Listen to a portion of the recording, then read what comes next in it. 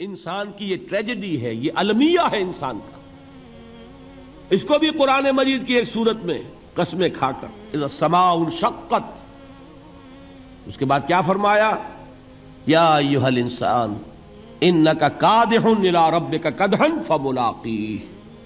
ए इंसान, तेरा अलमिया, तेरी ट्रेजेडी इससे कहीं बढ़कर है तुझे सदमे पर सदमे झेलते हुए, मुशक्कत पर मुशक्कत बर्दाश्त करते हुए एक रोज अपने रब के हुजूर में भी खड़ा होना है। जवाबदेही भी करनी है।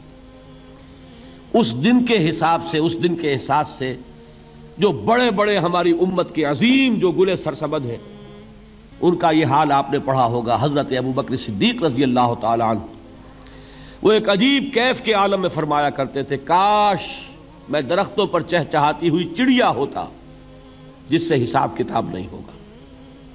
काश के मैं घास का तिनका होता, जो आज है और कल आग में जला दिया जाता है खत्म हो जाता। उससे मुहासबा कोई नहीं। वो जिसके एहसास से कि हज़रत उमर जो है, अपने इंतकाल के वक्त सख्त बेचैन थे।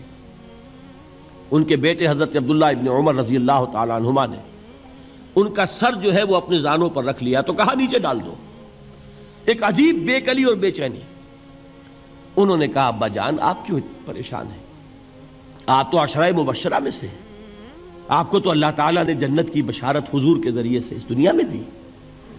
हज़रत उमर फरमाते हैं कि खुदा की कसम, अगर क़यामत के दिन उमर बराबर सराबर पर छूट गया तो बहुत बड़ी कामयाबी तस्वुर करेगा। ये एहसास जिनको होता है। हज़रत अली का हाल क्या होता है? अभी जो आपने हाफिज साहब से सुना यह हज़रत अली का मामला है। कि एक तीर पैवस्त हो गया था, किसी तरह निकल नहीं रहा था। हज़रत अली ने फरमाया कि अच्छा छोड़ो मुझे, मैं नमाज़ की नीयत बांधता हूँ। नीयत नमाज़ की नीयत पढ़ते थे तो लरसते थे, कांपते थे। किसके सामने खड़ा हूँ? और किसके सामने मुझे एक दिन जवाबदेही के लिए खड़ा होना होगा? लन तजूला कदम अबन आदम। हुजूर ने खबर दी है, इब्ने आदम के कदम हिल नहीं सकेंगे। जैसे मुजरिम खड़ा होता है कटेहरे के अंदर। उस कटेहरे में से हिल नहीं सकोगे। हत्ता युसलान खमसिन, जब तक कि पाँच चीज़ों का हिसाब न ले लिया जाए। वो पाँच चीज़ें क्या है कान खोल कर सुनिए। आन उमर ही फीमा अफना। उमर का हिसाब दो, ये अस्सी बरस और सत्तर बरस हमने तुम्हें दुनिया में दिए। कहाँ जाए किए? वान शबाब ही फीमा अबला और खास तौर पर जवानी का दौर, उमंगों के दिन।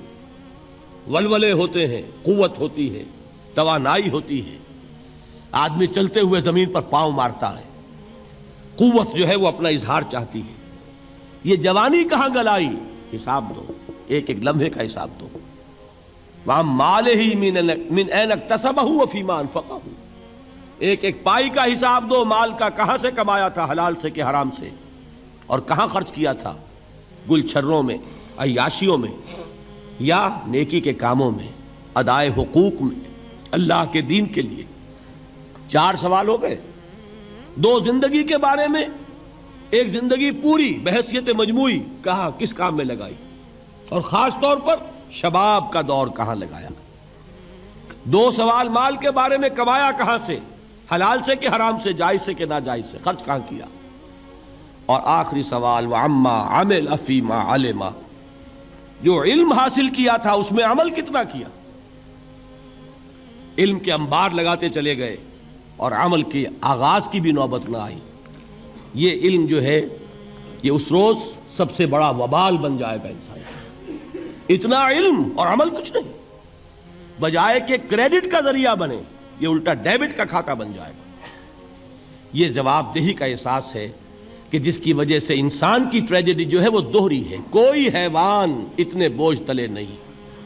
मुशक्क़त की, मेहनत की, इस ज़िंदगी में ख़त्म हुए। उसके बाद कोई मुहासबा नहीं। इसको भी गालिब ने खूब कहा है कि अब तो घबरा के ये कहते हैं कि मर जाएँगे और मर के भी चैन ना पाया तो किधर जाएँगे?